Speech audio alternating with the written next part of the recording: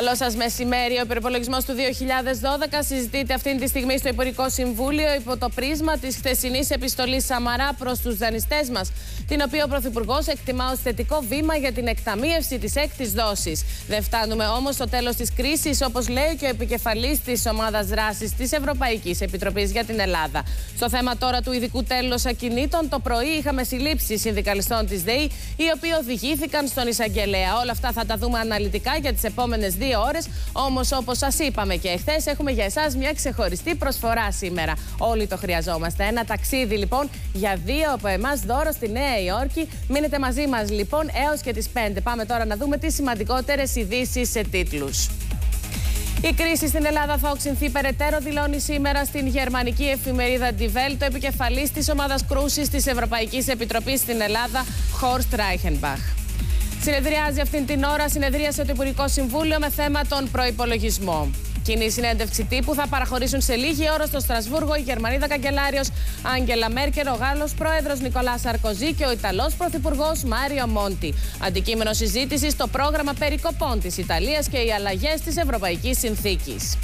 Την ανησυχία του εκφράζει ο Οργανισμός Οικονομικής Συνεργασίας και Ανάπτυξης για πιθανή επιβράδυνση του ΑΕΠ και αύξηση της ανεργίας στην Ευρωζώνη, σύμφωνα με την Ιταλική εφημερίδα Λαστάμπα.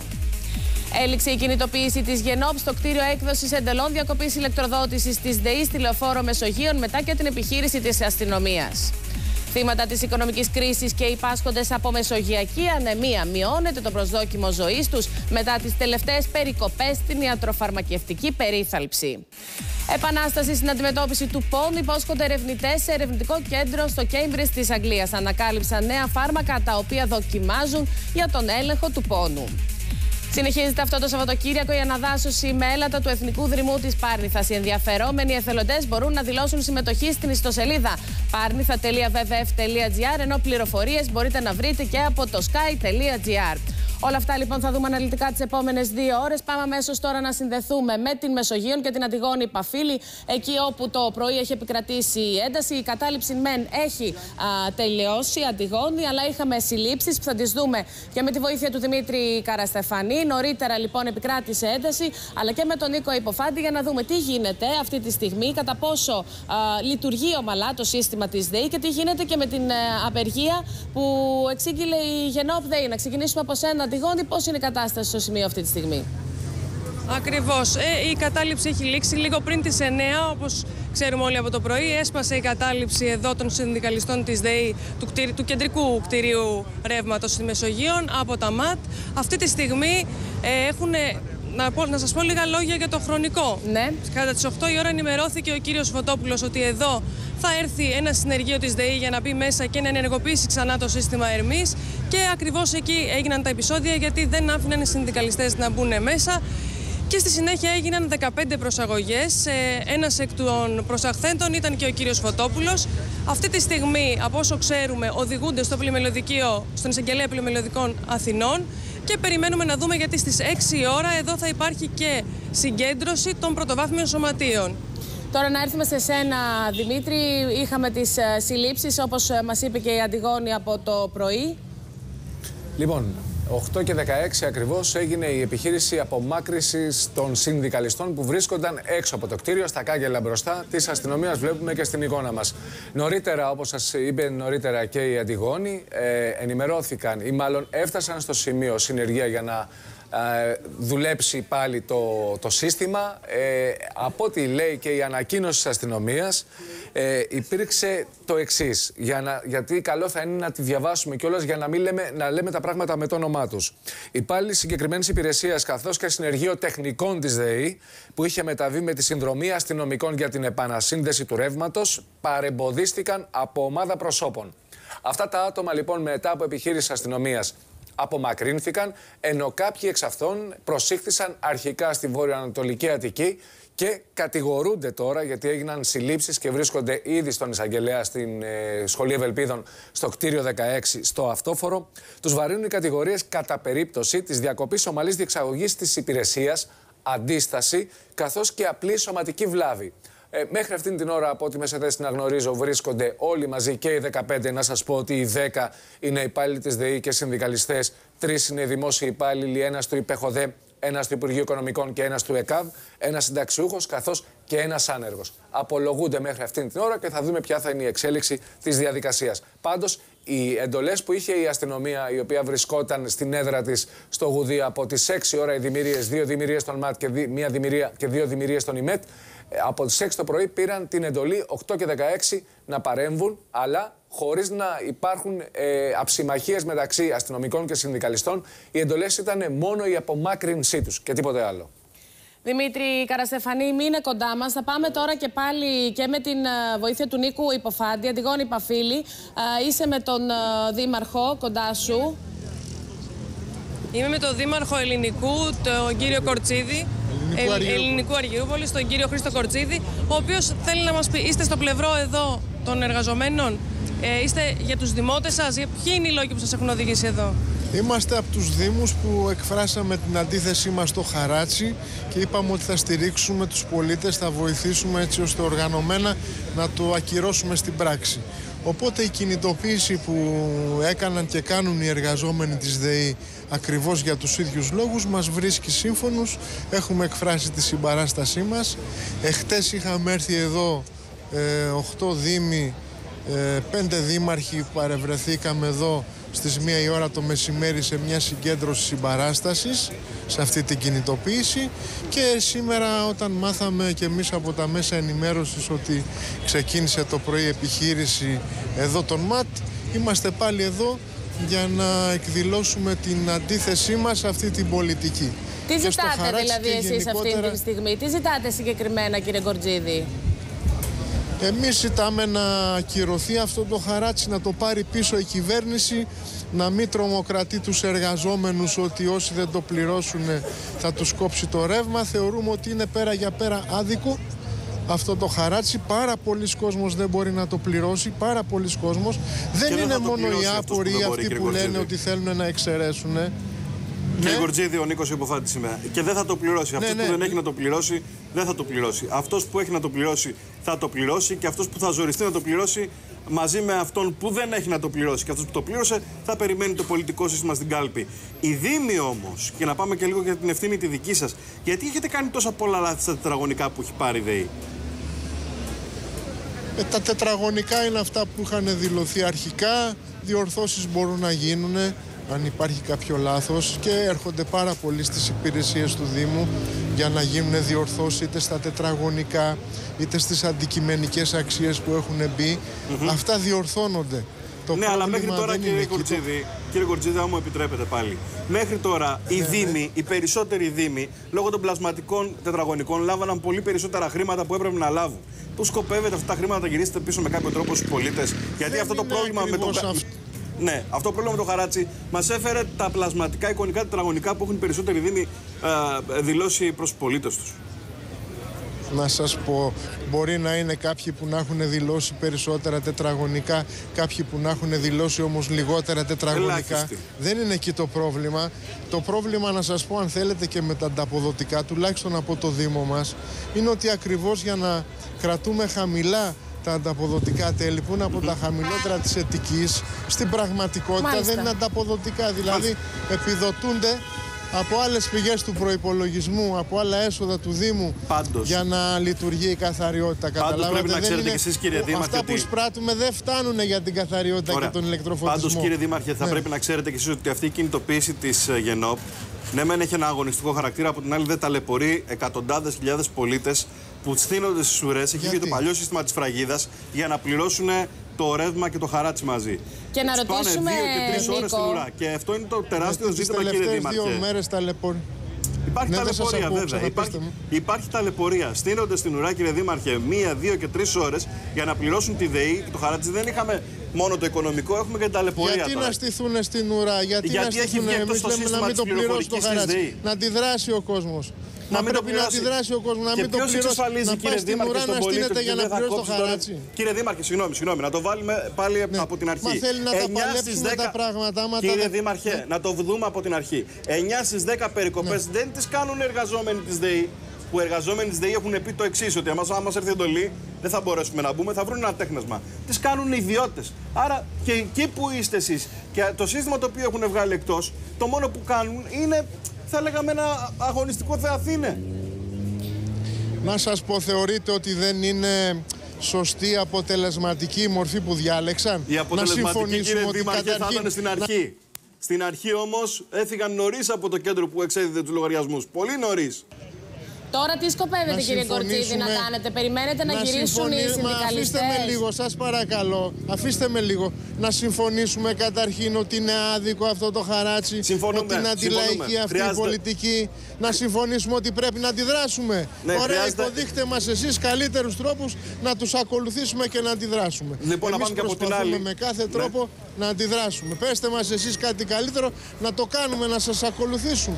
Είναι να λάθος κάνουμε ο τρόπο κάτι που δεν άλλο. πιάνεται η φοροδιαφυγή. Τα έχουμε πει πάρα πολλές φορές αυτά τα πράγματα. Το θέμα Μα μας έτσι όμω, θα κύριε πιάσουν Δήμαρχε. τη φοροδιαφυγή με αυτό το. Τι σχέση έχει η φοροδιαφυγή με αυτόν τον τρόπο; Εάν τα είχαν Εδώ πιάσει, δεν θα πέφτουνε χρειαζόταν- πάνω στον κοσμάκι και του παίρνουν το πετσί του να Ναι, πούμε. αν, αν Τι είχαν σχέση πιάσει τη έχει η φοροδιαφυγή, κύριε φοροδιαφυγή; Δήμαρχε, αν είχαν ματαιώσει Και γιατί την δεν την πιάνουν κακοδιοίκηση, οι αν την είχαν εργαζόμενοι περιορίσει φταίνε τη που δεν πιάνουν γραφειοκρατία, τη κύριε Δήμαρχε, δεν θα ήμασταν εδώ που είμαστε να βάζουν χαράτσια στον κόσμο για να πάρουν τα λεφτά. Αλλά Και τέλος το πάντων. Ερώτημα, Νίκο, συγγνώμη, είναι και, Και- και με και ποιον ποιος είναι μηχανισμό, υπεύθυνος για κύριε τη Κορτζίδη, γραφειοκρατία; με ποιο μηχανισμό; Δεν, δεν διαφωνεί καταρχήν κανείς ότι το μέτρο αυτό είναι άδικο, ειδικά για αυτούς που ε, δεν έχουν α, μπράβο, ας εισοδήματα. συμφωνήσουμε σε Όμως, αυτό. το θέμα Ας το είναι με καταγγείλουμε ποιον όλοι, ας μηχανισμό, καλέσουμε τον κύριε κόσμο να Κορτζίδη, αντιδράσει. ακούστε με λίγο ένα λεπτάκι, με ποιον μηχανισμό οι Δήμοι μπορούν να βρουν, ειδικά σε μεγάλους Δήμους, ποιος είναι ο άπορος, ποιος είναι αυτός που πραγματικά δεν μπορεί να πληρώσει, ώστε όντως αυτός να εξαιρεθεί σύμφωνα και με τις ρυθμίσεις που προωθούνται. Το θέμα είναι αυτό.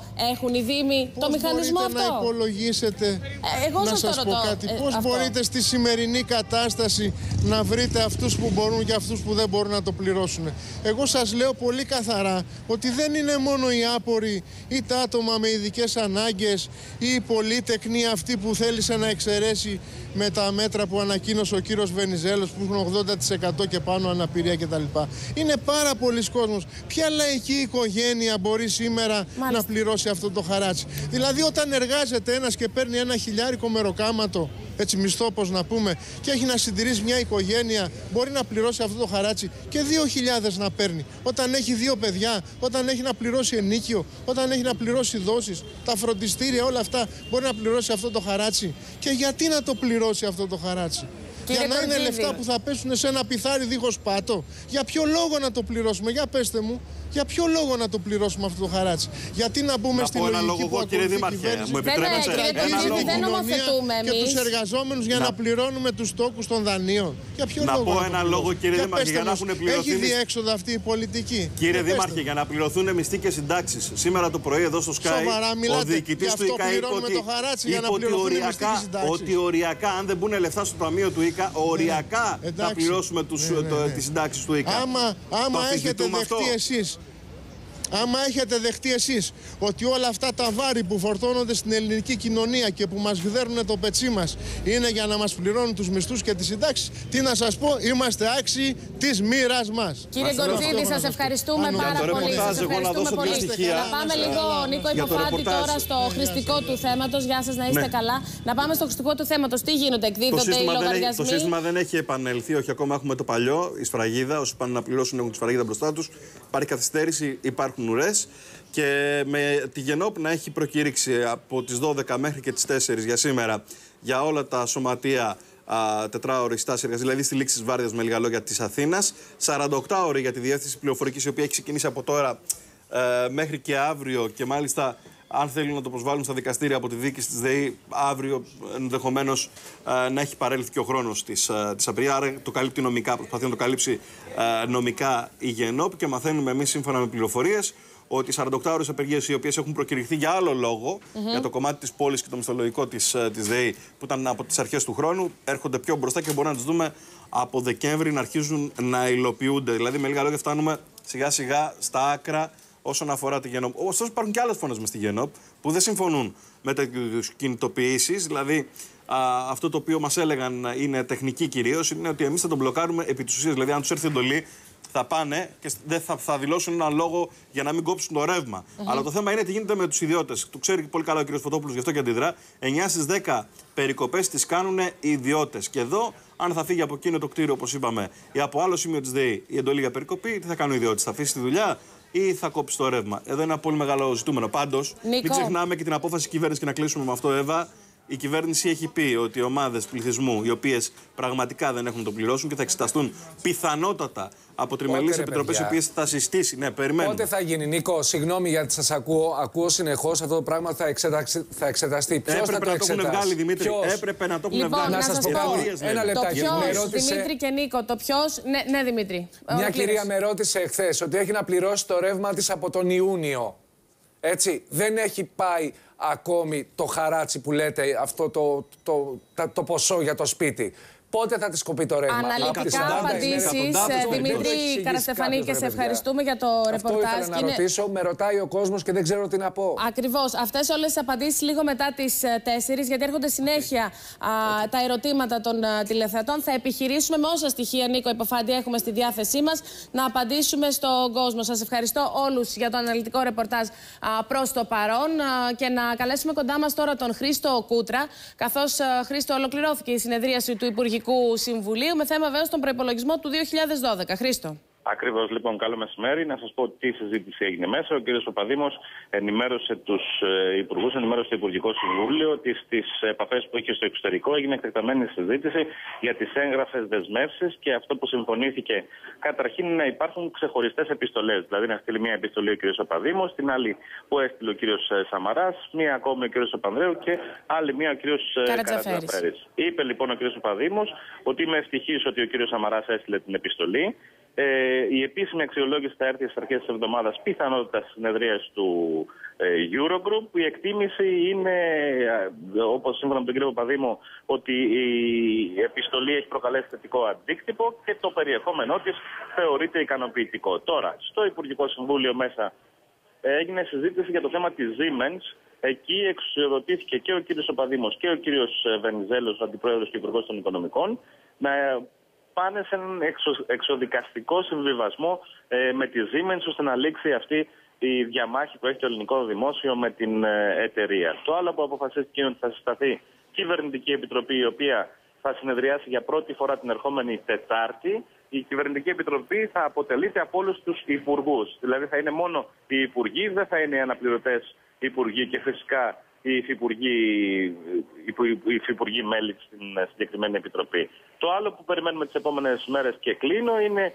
ότι ο κ. Βενιζέλος θα κάνει ένα νομοσχέδιο σκούπα, το οποίο θα περιλαμβάνει μέσα όλα τα εκκρεμή ζητήματα που αφορούν κομμάτια που είναι στο μνημόνιο. Εκκρεμότητες δηλαδή στην ουσία, Χρήστο, έτσι; Ακριβώς όλων των Υπουργείων. Για παράδειγμα, θα περιλαμβάνει μέσα και το κόψιμο των επικουρικών συμβάσεων, ε, συντάξεων ε, του κυρίου Κουτρουμάνη και άλλα ζητήματα που έχουν παραμείνει εκκρεμή ώστε να προχωρήσει το κυβερνητικό έργο. Επίσης, θα ξεκινήσουν οι συζητήσεις. Ο κ. Βενιζέλος έκανε μια μεγάλη αναφορά, μια μεγάλη τοποθέτηση στο Υπουργικό Συμβούλιο και ενημέρωσε το Υπουργικό Συμβούλιο και τον Πρωθυπουργό βεβαίως ότι στις 12 Δεκεμβρίου περίπου θα ξεκινήσουν οι συζητήσεις με την Τρόικα για τη νέα δανειακή σύμβαση. Ε, να σου πω επίσης ότι όλοι οι υπουργοί και οι υφυπουργοί, οι περισσότεροι τέλος πάντων πλειονότητα, διέκρινε μέσα από αυτή την αρχή και το τέλος συζητήσεων Μάλιστα. ότι πάνε πιο μακριά βεβαίως οι εκλογές από την προκαθορισμένη ημερομηνία που ζητούσαν ε, κυρίως από την πλευρά της συγκρούσης 19 Φεβρουαρίου. Είναι κάτι το οποίο έχει ήδη αρχίσει και συζητιέται. Χρήστο Κούτρα, σε ευχαριστούμε πολύ. Και με αυτό να καλωσορίσω κοντά μας τον ε, Μανώλη Κοτάκη, συνάδελφο δημοσιογράφος. Σε ευχαριστούμε πολύ που Γεια σας, είσαι κύριε κοντά μας. Αντωνοπούλου. Γεια σας κύριε Μπογδάνε. Βεβαίως με τον Κωνσταντίνο Μπογδάνο. Είχαμε τις εντάσεις της της ΔΕΗ και όλα Είναι που είναι σε ενισχυτικό εξέλιξη. Αυτό, και... το, αυτό το οποίο συμβαίνει. Δηλαδή, καθώς η Ευρώπη β- βυθίζεται σε ύφεση, χθες οι Γερμανοί είχαν μια πανολεθρία ως χώρα στη δημοκρασία των 18 τους ομολόγων, ούτε τα δύο τρίτα τους στόχου δεν πέτυχαν. Είναι χαρακτηριστικό για τη Γερμανία. Και σύμφωνα με την Τράπεζα της Ελλάδος έχουμε 500.000 Έλληνες που έβγαλαν το πρώτο εξάμεινο του 2011 χωρίς κανένα εισόδημα. Πλέον στοχοποιούνται αυτοί που έχουν δουλειά και η κοινωνία διχάζεται.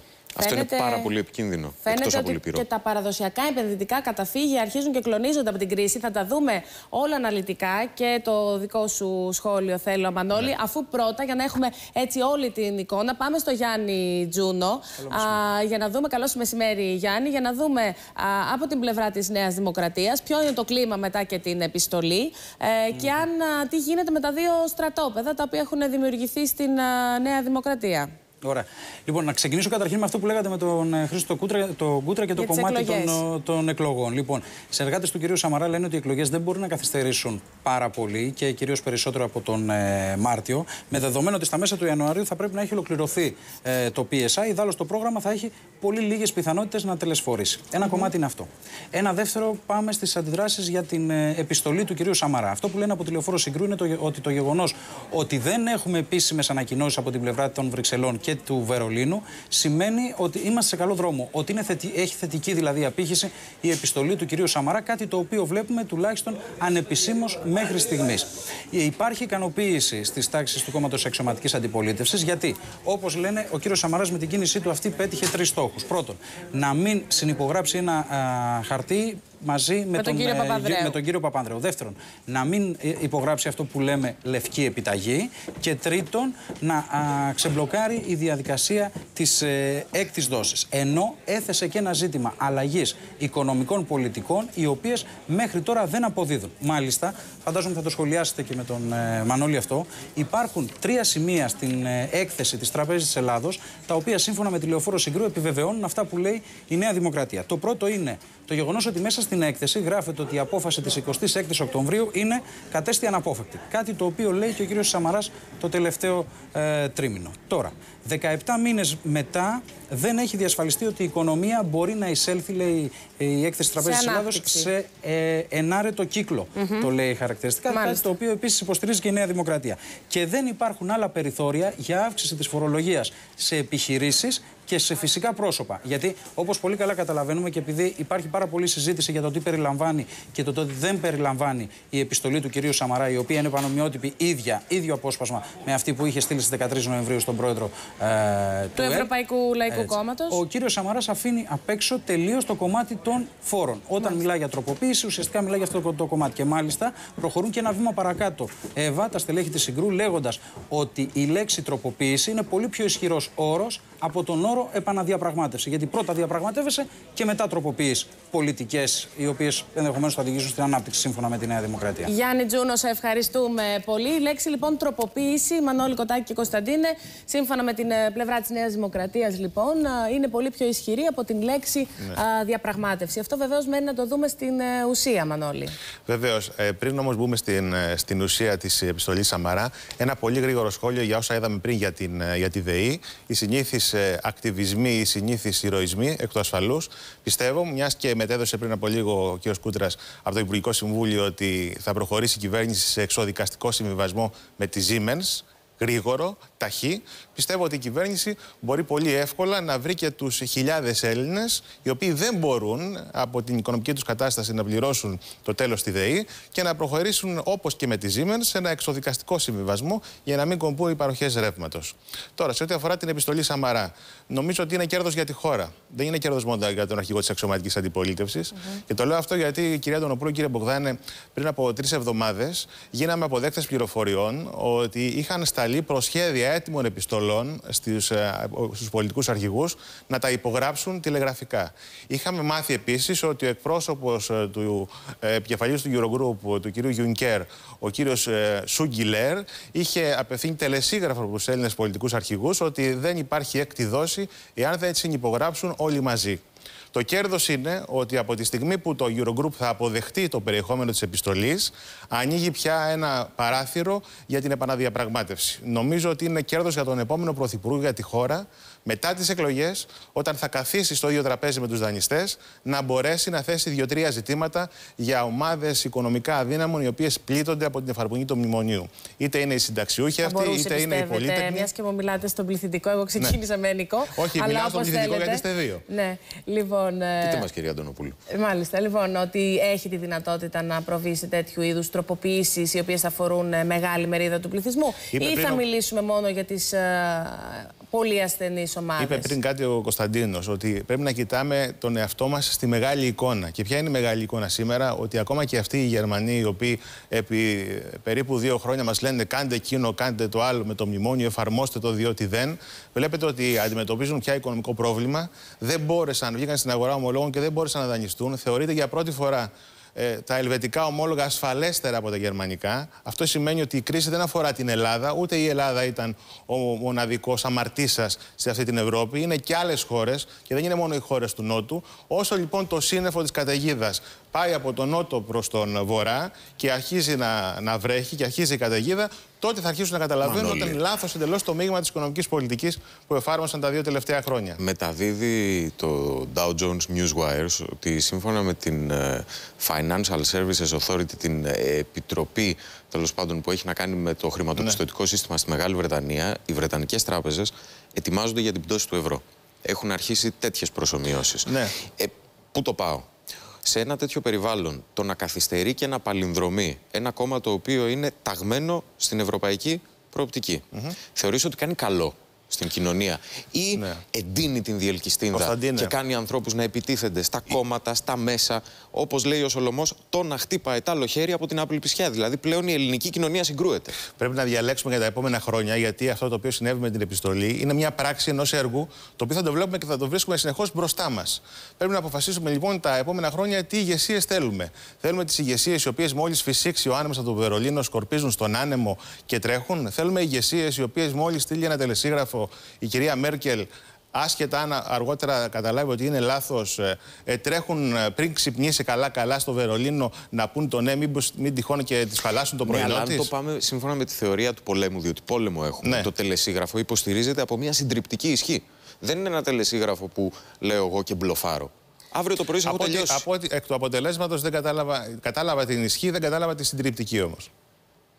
Να πω κάτι, να, να δούμε κάποια πράγματα αμέσως μετά τις διαφημίσεις. Το αν θα αλλάξει το πολιτικό σκηνικό αμέσως μετά από τις εκλογές. Το αν οι εκλογές τελικά θα γίνουν στις 19 Φεβρουαρίου, γιατί από ό,τι φαίνεται ίσως μετατεθεί ο χρόνος. Όλα αυτά σε συνδυασμό με την ε, δύσκολη κατάσταση, τη δύσκολη καθημερινότητα που όλοι βιώνουμε και όπως πολύ σωστά ξεκινήσαμε στην κουβέντα μας να λέμε ότι πλέον δεν είναι η Ελλάδα το πρόβλημα. Και με τη βοήθεια του κύριου Μάρδα, του οικονομολόγου από την Θεσσαλονίκη, θα δούμε και τι γίνεται, ποια είναι η θέση της Ελλάδας στην Ευρωζώνη, αλλά και τι γίνεται με την ίδια την ε, Ευρωζώνη. Όλα αυτά λοιπόν, ε, να Μανώλη Κοτάκη. Ε, ε, κάτι για να, ως εισαγωγή για μετά τις ε, διαφημίσεις. Ότι οι πληροφορίες λένε ότι ο κύριος Νταλάρα όταν ήρθε ε, συμφώνησε με την κυβέρνηση ότι η ολοκλήρωση του PSI, της ανταλλαγής των ομολόγων, θα ολοκληρωθεί στις 15 Φεβρουαρίου. Αυτό σημαίνει ότι οι εκλογές πριν τις 18 Μαρτίου αντικειμενικά. Να τα δούμε όλα μετά τις διαφημίσεις. Βοηθήστε με, δεν έχουμε καθόλου χρόνο. Να μιλήσουμε και για την ποιότητα της δημοκρατίας στο μέλλον. Και την ποιότητα της ζωής μας. Πάντα απ' όλα. Και της υγείας μας, γιατί κάπου εκεί τη χάνουμε και την ξεχνάμε. Λοιπόν, και για να έχουμε υγεία θέλουμε και καμιά φορά και κανένα δώρο. Και εμείς λοιπόν σκεφτήκαμε να σας κάνουμε ένα πάρα πολύ ωραίο δώρο. Όλα, όλα τα πάντα πληρωμένα. Θα πάτε στη Νέα Υόρκη ένα δώρο από εμάς λοιπόν. Θα πάτε, θα δείτε κινηματογράφο. Είναι για δύο άτομα, τα πάντα πληρωμένα. Είναι η διαμονή. Θα δείτε την καινούργια ταινία του Steven Spielberg.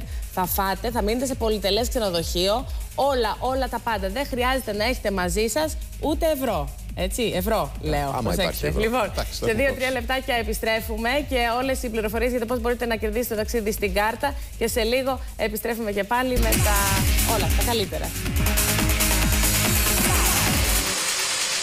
Παρακολουθώντας εξελίξεις, λοιπόν, 35 λεπτά μετά τις 3 μέχρι και τις 5 θα είμαστε μαζί σας με τον Μανώλη Κοτάκη στο στούντιο και τον Κωνσταντίνο Μπογδάνο, όπως κάνουμε καθημερινά.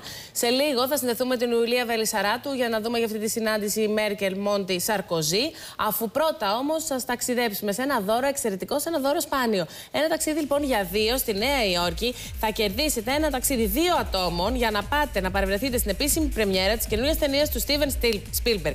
Το ταξίδι, προσέξτε, περιλαμβάνει δύο διανεκτερεύσεις 4 και 5 Δεκεμβρίου. Έτσι, μπαίνουμε στο χριστουγεννιάτικο κλίμα. Σε πολυτελές ξενοδοχείο με τα αεροπορικά εισιτήρια και τα πάντα πληρωμένα από εμάς. Από το κινητό σας, λοιπόν, στείλτε ταινία, κενό, ονοματεπώνυμο και όλο αυτό αποστολή στο 19100. Ταινία, κενό, ονοματεπώνυμο και όλο αυτό αποστολή στο 19100. Μία ταινία λοιπόν της uh, Feel Good Entertainment και στην Ελλάδα θα έρθει στους κινηματογράφους στις 19 Ιανουαρίου. Παρ' όλα αυτά, δύο τυχεροί από εμάς αυτό το ταξίδι ταξίδι. Είπαμε για τις 4 και 5 Δεκεμβρίου. Θα δείτε την ταινία πριν και θα πάτε και ένα ταξίδι στη Νέα Υόρκη. Και από τη Νέα Υόρκη, λοιπόν, να, βοηθ... να μεταφερθούμε με τη βοήθεια της ε, Ιουλίας ε, Βελισσαράτου. Να πάμε στην... Ε, στο Στρασβούργο και στη συνάντηση Μέρκελ, Σαρκοζή και του καινούριου Ιταλού Πρωθυπουργού, του κ. Μόντι.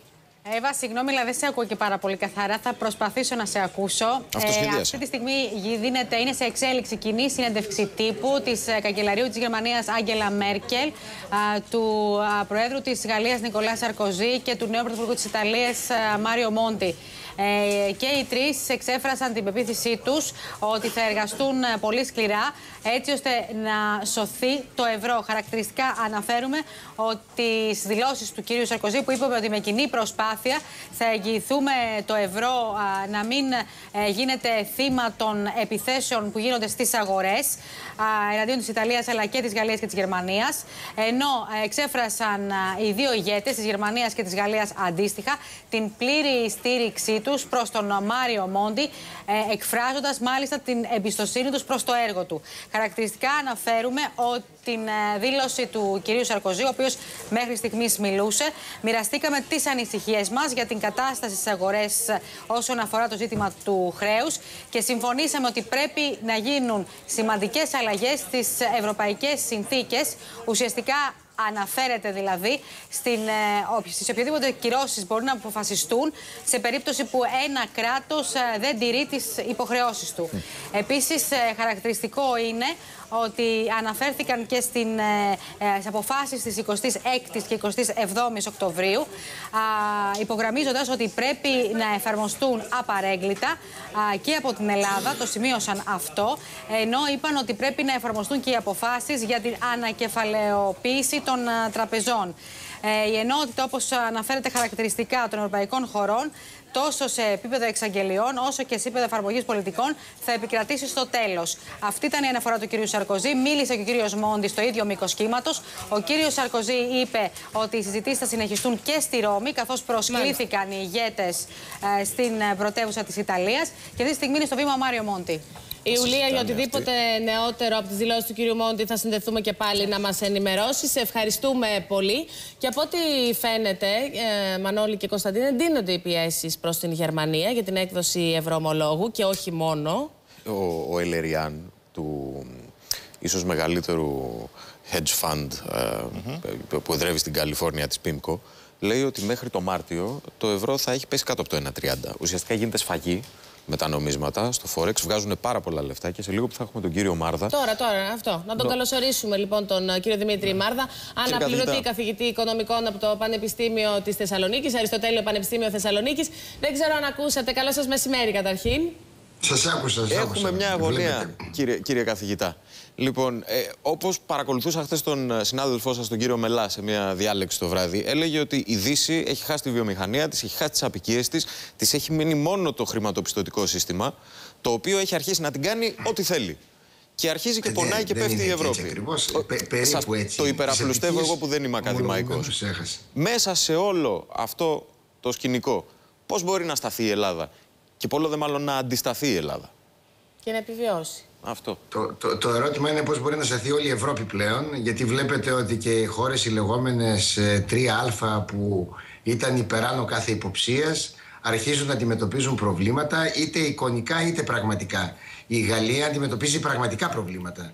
Η γαλλική οικονομία έχει σοβαρότατα προβλήματα. Μία επίσκεψη μπορώ να σας πω στο Παρίσι θυμίζει λίγο την Ελλάδα την περσινή. Με τα μαγαζιά που κλείνουν το ένα μετά το άλλο, με κόσμο που δεν κυκλοφορεί, που δεν υπάρχει σε εστιατόρια. Ε, αυτή, είναι μια εικόνα που δείχνει κάτι ότι υπάρχει πίσω, που βέβαια δεν μπορεί να το δει ο όποιος ο πολίτης. Αλλά σε τελική ανάλυση δεν είναι μια εικόνα μιας οικονομίας η οποία ε, πατάει γερά στα πόδια Κύριε καθηγητά, να σας ρωτήσω κάτι. Μπορεί να επιτευχθεί ε, ένας ιστορικός συμβιβασμός μεταξύ των Γερμανών και των Γάλλων. Όλοι ξέρουμε ότι η Ευρωπαϊκή Ένωση ουσιαστικά είναι μια δημιουργία που έγινε πρωτοβουλία της Γαλλίας και του Ζαν Μονέ και του Σουμάν και ε, προσεχώρησαν οι Γερμανοί. Τώρα έχουμε το ανάποδο. Γίνεται η πίεση, από τους, πίεση στου Γερμα, Γερμανούς μεν να κόψουν χρήμα, να επιτρέψουν την κοπή χρήματος. Ωστόσο, το αντάλλαγμα το οποίο ζητούν ουσιαστικά είναι να πατήσουν πόδι όχι στη δημοσιονομική κυριαρχία τη δική μας που το έχουν κάνει κάνει ούτως ή άλλως, αλλά στη γαλλική δημοσιονομική κυριαρχία. Μπορεί, θα μπορούσαν να τα αυτά τα δύο κράτη, γιατί παρόντες του κυρίου, του κυρίου Μόντι, νομίζω σήμερα αυτό συζητείται σε ένα βαθμό. Εάν δηλαδή με την τροποποίηση των συνθήκων θα μπορούν οι Γερμανοί να βάζουν πόδι και σε άλλες χώρες πολύ ισχυρότερες ημών στο εσωτερικό της Ευρωπαϊκής Ένωσης. Η... Σαφώς τα πάντα μπορούν να γίνουν, αλλά να υπενθυμίσω όμως ότι για την τροποποίηση των συνθήκων χρειάζονται ομόφωνες αποφάσεις σε επίπεδο Συμβουλίου, χρειάζεται μια συγκατάθεση του Ευρωπαϊκού Κοινοβουλίου και μια επικύρωση όλων των κρατών μελών. Δηλαδή το γεγονός ότι η κυρία Μέρκελ και ο κύριος Σαρκοζή μπορεί να φτάσουν να συμφωνήσουν σε κάτι, αυτό είναι ένα καλό βήμα, αλλά δεν σημαίνει ότι θα αναθεωρηθούν οι συνθήκες. Είναι μια ιδιαίτερα επώδυνη ιστορία η αναθεώρηση συνθήκων και είναι ένας γενικότερος συμβιβασμός, ιδιαίτερα σε, σε αυτά τα σκληρά ζητήματα τα οποία προτείνει Κύριε η κυρία Μέρκελ. Μαρδά, μετά την χθεσινή κατά κάποιο τρόπο αποτυχία της ε, Γερμανίας να δανειστεί, τουλάχιστον με τα επιτόκια που επιθυμούσε, υπάρχει περίπτωση να υποχωρήσει η Γερμανία ή η κυρία Μέρκελ στο θέμα του ρόλου της Ευρωπαϊκής Κεντρικής Τράπεζας; Ε, αυτά τα σοκ τα οποία δέχεται η Ευρώπη μπορεί να οδηγήσουν σε άρδιν αλλαγές στα μυαλά των πολιτικών της Ευρώπης και κάπου να, αρχ- να αρχίσουν οι, οι σύγχρονοι πολιτικοί της Ευρώπης να ακούν λίγο τις φωνές των παλαιότερων πολιτικών που έπαιζαν και το ρόλο του ηγέτη. Ε, ως εκ τούτου αυτό το σοκ της Γερμανίας ενδεχομένως λίγο να την ταρακουνήσει προς όφελος της ευρωπαϊκής ολοκλήρωσης. Μία ακόμη ερώτηση. Ε, τι μας συμφέρει εμάς ως χώρα, Μας συμφέρει να ολοκληρωθούν ταχύτατα οι διαδικασίες του PSI στις 15, μέχρι τις 15 Φεβρουαρίου ή να περιμένουμε τη συνολική λύση, τη μεγάλη λύση, όπως περιγράφεται, να κοπεί χρήμα, ούτως ώστε να πέσουμε περισσότερο στα μαλακά, αν αυτό είναι εφικτό; Και όταν μιλάμε για μαλακά, βεβαίως ε, συζητούμε για δύσκολες προσπάθειες, αλλά σε σύγκριση με τις προηγούμενες, ε, μάλλον οι ποιότερες. Ε, μα, μας συμφέρει, βέβαια, μας συμφέρουν και τα δύο, αλλά σε πρακτικό επίπεδο το PSI θα αντιμετωπίσει κάποια θέματα βραχυχρόνια. Το άλλο αρχίζει τώρα, αν θα αρχίσει τώρα η Σύνοδο Κορυφής ε, του Δεκεμβρίου, στις 8-9 του μηνός που μάλλον ε, ε, ε, ετοιμάζεται να γίνει και θα δούμε πότε θα ολοκληρωθεί. Ως εκ τούτου η Ελλάδα δεν μπορεί να περιμένει τόσο χρονικό διάστημα. Αν είχε αρχίσει η συζήτηση έγκαιρα για τη βελτίωση της ρευστότητας που θα επαιδείω και αυτή η βελτίωση της ρευστότητας να τακτοποιήσει και τα προβλήματα των υπερχρεωμένων χωρών, τότε θα μπορούσαμε να το συζητήσουμε. Θα ήταν μια πιο συμφέρουσα λύση. Τώρα όμως δεν υπάρχει χρόνος να περιμένουμε όλη αυτή τη διαδικασία να ολοκληρωθεί και θα δούμε πώς θα ολοκληρωθεί. Είπατε πριν ηγέτες, αναφερθήκατε σε ηγέτες, αλλά ο Ντεστέν, ο Βίλι Μπραντ, ο Μιτέραν, ο Κολ δεν είχαν να αντιμετωπίσουν ένα τόσο θεργεμένο τραπεζικό σύστημα. Φοβάστε ότι όπως και να έχει το πράγμα θα εξαθλιωθούν οι κοινωνίες, δηλαδή θα ξαναδούμε ε, τους αθλείου του Βίκτορου Σουγκός στο Παρίσι, όπως είπατε, ή θα ξαναζήσουμε καιρούς Ντίκεν. Είναι πάρα πολύ άσχημα τα πράγματα για τον κόσμο. Είναι, είναι, είναι ομολογουμένως πολύ άσχημα τα πράγματα. Γι' αυτό το λόγο πρέπει η Ευρωπαϊκή Ένωση να λειτουργήσει επιτέλους ως ένωση.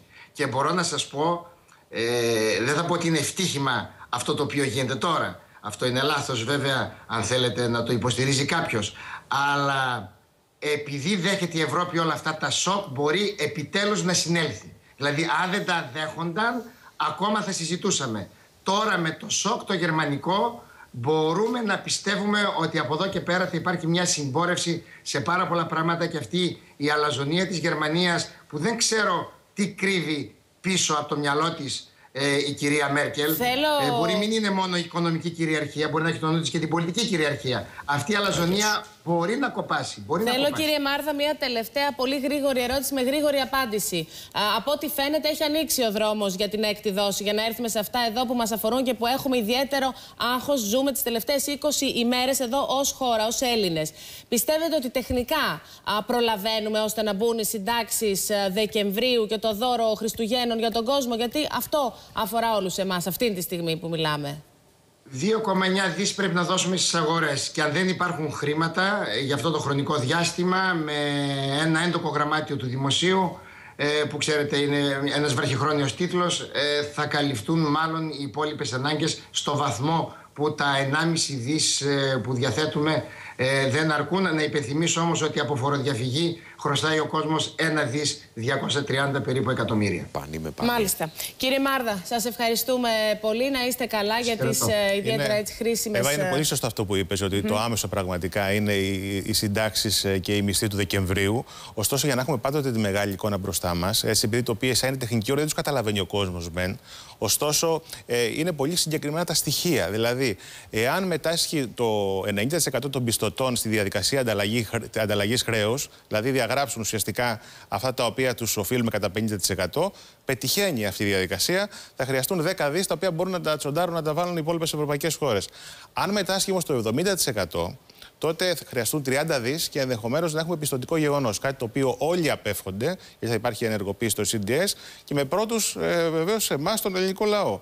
Ε, γι' αυτό καλό είναι βεβαίως να κάνουμε focus στις ιστορίες των συντάξεων και των μισθών του Δεκεμβρίου. Θεωρώ όμως ότι μετά την εξέλιξη αυτή είναι διασφαλισμένες. Το επόμενο βουνό που έχουμε μπροστά μας είναι πια η ολοκλήρωση αυτής της συμφωνίας. Να δούμε επιτέλους πότε θα αρχίσει η κατάβαση από αυτό το βουνό Έχουμε και βεβαίω με δρόμο καλά φρένα. Μανώλη Κοτάκη, σε ευχαριστούμε Ευχαριστώ και εγώ, πολύ. Εύα, Κωνσταντίνε, ευχαριστώ Να πολύ. είσαι καλά. Λοιπόν, εμείς τώρα για πάμε να δούμε τη βοήθεια της τεχνολογίας. Αν σας το λέγαμε σε άλλη περίπτωση, θα, λέγανε, θα λέγατε αυτοί εκεί τρελαθήκανε. Και όμως όχι. Σήμερα λοιπόν η εκπομπή μας, το live, πρωτίστως στο Sky βεβαίως και το sky.gr, διαφημιστήκαμε στο Λονδίνο. Με ποιο τρόπο, Μαρία Αναστασοπούλου, με τη βοήθεια της τεχνολογίας; Καλησπέρα, Εύα, και από μένα. Στη συγκεκριμένη υπηρεσία νομίζω ότι αποτυπώνονται ξεκάθαρα οι δυνατότητες που μας παρέχει το ίντερνετ. Πάμε όμως να ξεκινήσουμε βήμα-βήμα να το δούμε. Α πούμε ότι θέλουμε να διαφημίσουμε μία επιχείρηση. Στην προκειμένη περίπτωση θα χρησιμοποιήσουμε βέβαια την εκπομπή μας. Μπαίνουμε στην ιστοσελίδα www.otbusinesslive.gr. Ναι. Πατάμε ξεκίνα εδώ, όπως βλέπουμε.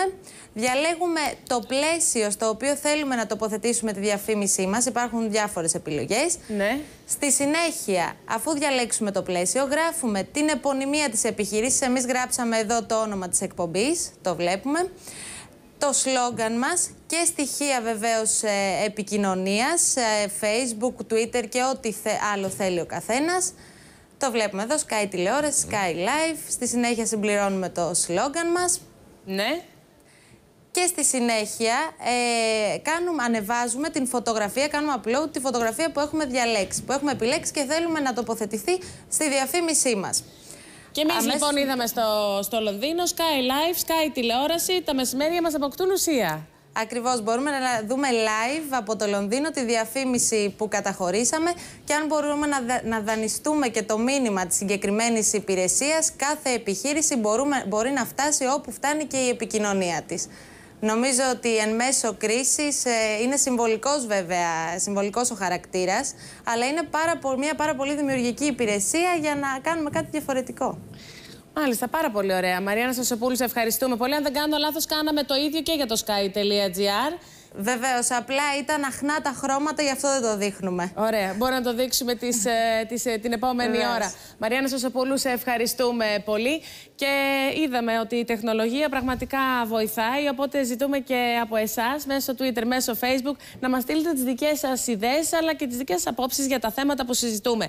Θα συνδεθούμε τώρα με την Ιωάννα Μάνδρου για να δούμε α, την εξέλιξη στην υπόθεση της Γενόπδε. Είχαμε τις συλλήψεις, Ιωάννα, το πρωί των συνδικαλιστών, μεταξύ αυτών και του κύριου Φωτόπουλου. Α, τι λέει το ρεπορτάζ αυτή τη στιγμή, Ιωάννα; Ε, κοίταξε, Εύα, και οι 15 μετά τη σύλληψή τους ε, οδηγήθηκαν στον εισαγγελέα. Ο κύριος Πιέρος ήταν αυτός που χειρίστηκε τη σχετική δικογραφία που είχε σχηματιστεί από τις αστυνομικές αρχές που έκαναν και τις συλλήψεις.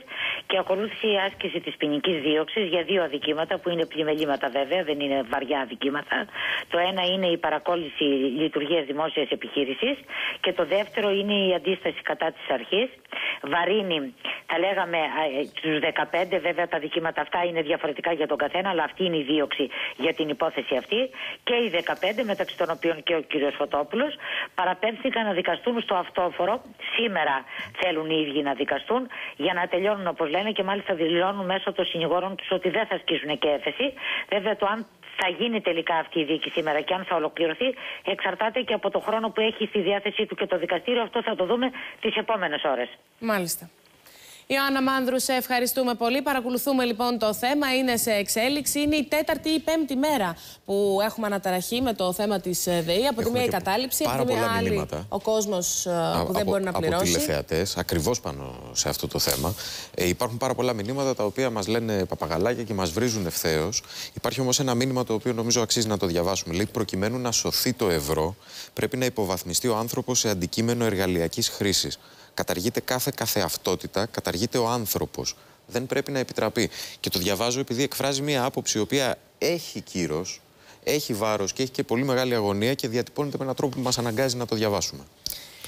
Τα μηνύματά σας τα περιμένουμε πάντα με χαρά, ακόμα και όταν δεν είναι κολακευτικά. Να ξέρετε, δεν, το, δεν αναφέρεται σε αυτό ο Κωνσταντίνος. Έχουμε εξάλλου ελευθερία και μπορείτε να γράφετε ό,τι θέλετε. Γι' αυτό είναι Όση και το διαδίκτυο. δημοκρατία Λοιπόν, έχουμε, πρέπει να την διαφυλάξουμε. για πάμε να δούμε τώρα. Μία από τις επιπτώσεις της uh, κρίσης, βεβαίως το έχουμε αναδείξει χιλιάδες φορές μέσα από την εκπομπή μας και μέσα από τον Sky, είναι οι επιπτώσεις στον τουρισμό. Θέλω να καλωσορίσω κοντά μας τον κύριο Αλέξανδρο Αγγελόπουλο. Είστε μέλος του Διοικητικού Συμβουλίου του Ξενοδοχειακού Επιμελητηρίου και μέλος του ΣΕΤΕ. Και τον κύριο Αλέξη Γαλινό, είστε διευθύνων ε, σύμβουλο στην Εταιρεία Τουριστικής και Οικονομικής Ανάπτυξης του Δήμου Αθηναίων. Λοιπόν, από πού να ξεκινήσω; Να ξεκινήσω καταρχήν από την είδηση που είχαμε εχθές με το πολύ μεγάλο πρόβλημα που αντιμετωπίζει η Τόμα Κουκ, μια μεγάλη ταξιδιωτική εταιρεία. Από την άλλη, είχαμε χθες την επιστολή ε, του κυρίου Καμίνη, κυρία Γαλινέ, που έλεγε ότι υπάρχει μεγάλο πρόβλημα στο κέντρο της Αθήνας και ότι κάτι πρέπει να γίνει. Και την ίδια ώρα η Βίκη Παύλου θα έρθει κοντά μας για να μας δώσει όλα τα στοιχεία, για να έχουμε την συνολική εικόνα και να καταλάβουμε αυτή τη στιγμή το βαρύ πυροβολικό που λέμε τόσο κλισέ έκφραση ο τουρισμός σε τι κατάσταση είναι, Βίκη. Καταρχήν, Εύα, να συμπληρώσω ότι μαζί με την επιστολή του κ. Καμίνη είχαμε και την επιστολή του Ξενοδοχειακού Επιμελητηρίου Ελλάδα για το ίδιο θέμα, δηλαδή Σωστά. για την ακύρωση των συνεδρίων της Ευρωπαϊκής Καρδιολογικής Εταιρείας, που ήταν να γίνουν για τα επόμενα τρία χρόνια. Και βέβαια αυτό δείχνει την κατάσταση που επικρατεί στο κέντρο της Αθήνας. Έχουμε συλλέξει κάποια στοιχεία που είναι ενδεικτικά για το τι επικρατεί, ε, με βάση τα γεγονότα που συμβαίνουν το τελευταίο διάστημα, τα οποία όλοι τα βιώνουμε, αφού το κέντρο της Αθήνας έχει μετατραπεί πραγματικά σε πεδίο μάχης.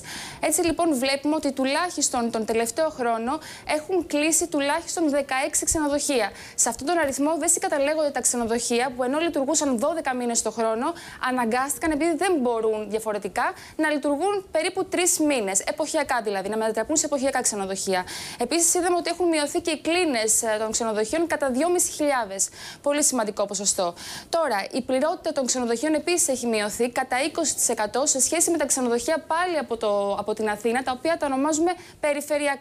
Αυτά δηλαδή που βρίσκονται μέσα στο πεδίο σε εισαγωγικά μάχης όλων των γεγονότων, η πληρότητά τους έχει μειωθεί κατά 20%. Και τέλος, να πούμε ότι αυτό έχει αντίκτυπο και, στα, και στην ελληνική οικονομία, καθώς έχουμε μείωση των εσόδων από το 2008 έως και το 2010. Αυτά, είναι τα- αυτή είναι η περίοδος που έχουμε τα στοιχεία, τουλάχιστον προς το παρόν, κατά 200 εκατομμύρια ευρώ. Και να σας πω ότι την επόμενη εβδομάδα, την Τετάρτη, την Τετάρτη, την Τετάρτη με συγχωρείτε συγκεκριμένα, έχει συνέντευξη τύπου ε, η Ένωση Ξενοδόχων Αττικής, όπου θα Για- μας παρουσιάσει και τα νέα στοιχεία. Μάλιστα, Βίκη, Κηδεία. σε ευχαριστούμε. Έχεις και άλλα στοιχεία, αν δεν κάνω λάθος, και για το σύνολο της χώρας. Οπότε, αμέσως μετά τις διαφημίσεις, θα σε κρατήσουμε και εσένα κοντά μας. Ε, αμέσως μετά τις διαφημίσεις, λοιπόν, κύριε Αγγελόπουλο και κύριε Γαλινέ, θα πάμε να δούμε τι γίνεται και εσείς, ο καθένας το είδος σας, ασχολείστε στην ουσία με τον τουρισμό και την προώθηση της Αθήνας, αλλά και Πώς εξηγείται το παράδοξο ότι έχουμε και αύξηση 10% ε, στον τουρισμό. Όλα αυτά λοιπόν σε 2-3 λεπτά και αμέσως μετά τις διαφημίσεις.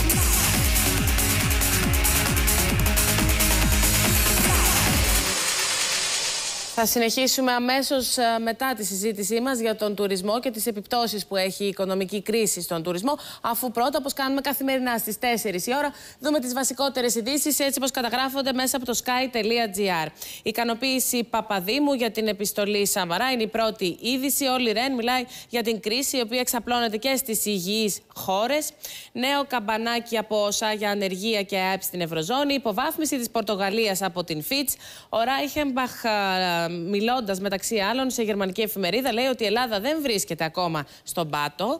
Α, θα είχε ενδιαφέρον βεβαίως να μας εξηγήσει, Κωνσταντίνε, πώς ακριβώς το εννοεί αυτό. Ανοιχτή διαφωνία Μέρκελ-Μπαρόζο για τα ευρωομόλογα. Βέλγιο έκλεισε στους πολίτες να επενδύσουν σε κρατικά ομόλογα. Και τέλος, στις 16 ανέρχονται οι συλλήψεις για τα χρέη στο δημόσιο. Εμείς, έτσι, να πούμε, να λέμε και κάτι θετικό, να μιλήσουμε για το διαγωνισμό μας και πώς θα κερδίσετε αυτό το ταξίδι στη Νέα Υόρκη για δύο άτομα για να δείτε την καινούργια ταινία του Steven Spielberg. Λοιπόν, θα πάρετε το κινητό, θα γράψετε ταινία, κενό, ονοματεπώνυμο και όλο αυτό αποστολή στο 19100. Και έτσι θα πάτε 4 και 5 Δεκεμβρίου με όλα τα έξοδα από εμάς πληρωμένα για να πάτε στην ε, Αμερική, στις ΗΠΑ να δείτε την ταινία. Όλα πληρωμένα και τα αεροπορικά εισιτήρια και θα δείτε πρώτη την ταινία λοιπόν της Feel Good Entertainment λοιπόν ε, στην ε, Αθήνα. Έρχεται στις 19 Ιανουαρίου στους κινηματογράφους. Εσείς όμως θα κερδίσετε το ταξίδι. Θα τη δείτε νωρίτερα στις 4 και στις 5 Δεκεμβρίου και θα τη δείτε στην Αμερική. Πρώτη-πρώτη και μετά, αν θέλετε, θα έρθετε και εδώ στο στούντιο να μας πείτε πώς σας φάνηκε η εμπειρία. Λοιπόν,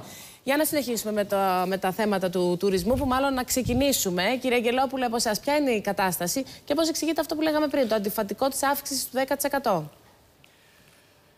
Είχαμε πράγματι αύξηση στις αφήξεις της τάξης του 10%, 9,6 νομίζω είναι το καταγεγραμμένο ποσοστό. Ε, ως ποσοτικό από μόνο του πρέπει να θεωρείται ένα θετικό, ένα θετικό αποτέλεσμα για τη χρονιά του 2011. Ποιοτικά αναλύοντάς το θα βρούμε ότι μέσα σε αυτά βρίσκονται κυρίως ε, χαμηλότερης κατηγορίας επισκέπτες, επισκέπτες δηλαδή που δεν αφήνουν πολλά χρήματα στη χώρα και κυρίως, ίσως αυτό πρέπει να μας αφορά εμάς, ε, δεν, δεν αποτελεί μια αύξηση την οποία εμείς επιδιώξαμε ή καταφέραμε με κάποιον τρόπο, αλλά σε μεγάλο ποσοστό ένα ρεύμα λεφτά από τη Βόρεια Αφρική. περισσότερα στα ταμεία των ξενοδόχων ή ρίξαμε τις τιμές και έτσι τα λεφτά ήταν λιγότερα η μία ή η άλλη; Η Τράπεζα της Ελλάδος καταγράφει αύξηση και στο κομμάτι των εσόδων στη χώρα. Στο επίπεδο της κάθε μίας επιχείρησης δεν πιστεύω ότι μείνανε λεφτά στο τέλος, δεδομένης της κατάστασης και της αυξημένης είτε φορολόγησης είτε άλλων μέσων ε, να τραβάμε αυτά τα χρήματα από τις από τις επιχειρήσεις για άλλους σκοπούς. ο κλάδος από τους φόρους, κύριε Αγγελόπουλε. Βεβαίως. Βεβαίως. Και ποια είναι η χειρότερη, δηλαδή, ποια, ποια είναι η κατάσταση που δυσκολεύει ακόμα περισσότερο; Εντάξει, το αντικείμενο των ημερών, το αντικείμενο συζήτηση των ημερών και όχι με τη λογική του να κλαφτούμε. Γιατί θα ήταν πολύ εύκολο να μπούμε σε μια διαδικασία να βγάλουμε τον εαυτό μας μπροστά μέσα σε μια κοινωνία που έχει άπειρα προβλήματα. Το, το χαράτσι στη δική μας την περίπτωση έχει την εξής ιδιαιτερότητα. Ότι εξαιρέθηκαν ένα σωρό άλλοι κλάδοι που συμμετέχουν πολύ λιγότερο στο ΑΕΠ, πολύ λιγότερο στην απασχόληση και δεν εξαιρέθηκε ο τουρισμός, ο οποίος τελικά όχι μόνο πλήττεται ως κλάδος, αλλά πλήττεται και η ανταγωνιστικότητά του. Εξαιρέθηκαν βέβαια κάποια ξενοδοχεία, αυτό δεν λέω για να υπερασπιστούμε καμία κυβερνητική απόφαση εκείνης της εποχής, στο κέντρο της Αθήνας. Αλλά κύριε Γαλινέ, αυτό ελαφρύνει καθόλου την ε, ήδη βαριά κατάσταση ή απλά δεν τους δίνει τη χαριστική βολή; Δυστυχώς το συγκεκριμένο μέτρο δεν πρόκειται να σώσει κανέναν. Ε, και αυτό γιατί όλοι γνωρίζουμε πολύ καλά ότι η εικόνα όχι μόνο της χώρας αλλά ιδιαίτερα της Αθήνας βάλετε ε, εδώ και πολύ καιρό. Άρα ε, ενώ έχουμε ένα προϊόν που μέχρι και πρόσφατα αν θέλετε πουλούσε από μόνο του ε, πλέον αυτό δεν ισχύει. Και η, το έλλειμμα όσον αφορά την εθνική στρατηγική ειδικά για το συνεδριακό τουρισμό που είναι και το ε, και το θέμα της επιστολής του κ. Καμίνη. Ε, αποτελεί πλέον ε, απειλή για τη βιωσιμότητα του κλάδου.